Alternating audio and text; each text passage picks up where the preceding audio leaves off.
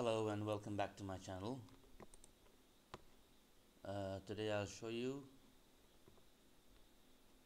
how to fix the language problem in OpenShot video editor. So to begin with let me open up the video editor.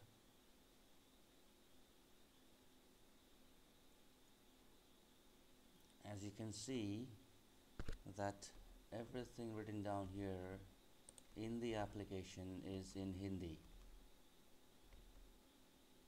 And it's not legible as well. It's not very clear. Many users may face the problem of not being able to read Hindi or not being able to read what's written down there because it's not very clear. So I'll show you today how to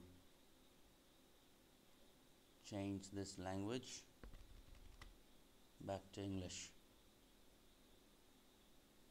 To do that first we will minimize the OpenShot application to the start menu. Go to the control panel.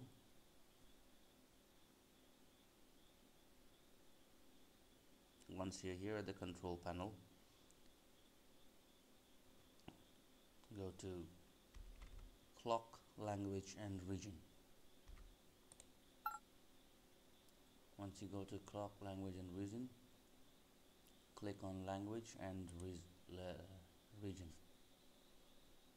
Here you will see there are several options. You need to go to the first option formats. And you will find the format with a drop down list. And the preferred format is Hindi India. You can change it to English India. Here it is. Click on apply. Click OK. Close this window.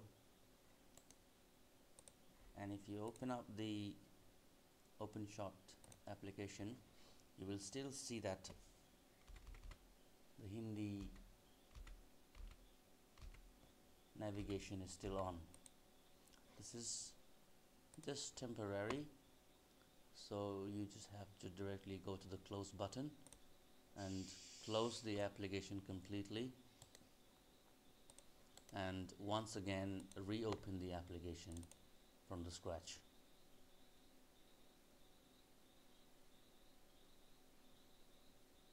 so to see that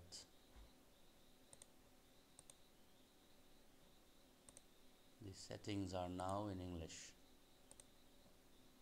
Let me open that for you once again.